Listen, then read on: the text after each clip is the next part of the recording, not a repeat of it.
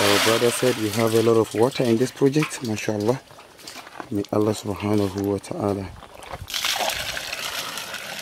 reward this journey. Mashallah. Mashallah.